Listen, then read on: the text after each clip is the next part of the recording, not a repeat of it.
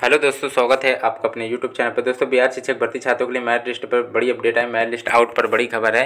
कितने नंबर पे छात्रों को चयनित किया जा रहा है, वो आप लोगों को बताने वाले हैं। तो देखो कैटेगरी वाइज आपको कटा बताने वाले। जनरल से आप लोगों को बावन नंबर ओबीसी से पचास नंबर ईडब्ल्यूएस से अड़तालीस नंबर एससी से आप लोगों के लिए छियालीस नंबर और एसटी कैटेगरी से एससी से पैंतालीस और एसटी कैटेगरी से बयालीस नंबर तक, ठीक है?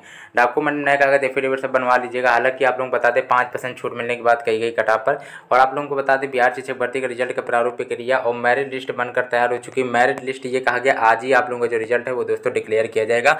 बिहार शिक्षक भर्ती का जो रिज़ल्ट है दोस्तों, आज ही आने की बात कही गई कि आज ही रिज़ल्ट आएगा, ठीक है? तो अब बी एड अभ्यर्थियों की नई खबर निकल के आई है कि क्या बी एड बिहार में वैलिड होगा कि नहीं होगा, एक से पाँच में प्राथमिक में, उसके लिए बीस अक्टूबर को सुनवाई लगी हुई है। सुप्रीम कोर्ट में जो भी निर्णय आता है फ़िलहाल, अब आपको बता दें, बिहार शिक्षक भर्ती की जो मेरिट लिस्ट है, आज ही जारी की जाएगी और जैसे दोस्तों आएगा, इस चैनल पर अपडेट किया जाएगा। तो आप सभी लोग वीडियो को लाइक और चैनल को सब्सक्राइब ज़रूर कर लीजिएगा।